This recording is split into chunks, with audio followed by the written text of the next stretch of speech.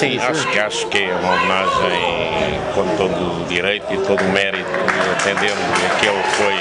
foi e é amigo do Sintrense, foi um homem que deu muito para o Sintrense, continua a viver o futebol e a ser amigo naturalmente de todas as pessoas do Sintrense e, e da população em si, na medida que não tem sido só no futebol, mesmo sem ser no futebol, tem sido uma pessoa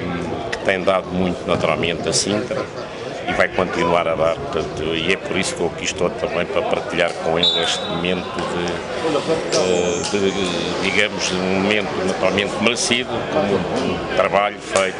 e naturalmente ele não vai parar certamente uh, por aqui, vai continuar a fazer sempre aquilo que tem feito, porque ele é uma pessoa muito isenta, é uma pessoa amigo de seu amigo e que merece muito da minha parte como sou muito amigo dele tenho respeito muita consideração por ele na medida em que ele mesmo como presidente do clube eu também sou presidente do clube tive sempre uma boa relação com ele porque conseguimos sempre separar eh, a parte desportiva com a amizade e isso é muito bom quando as pessoas conseguem separar as coisas e saberem estar seja naquilo que for, portanto é, é importante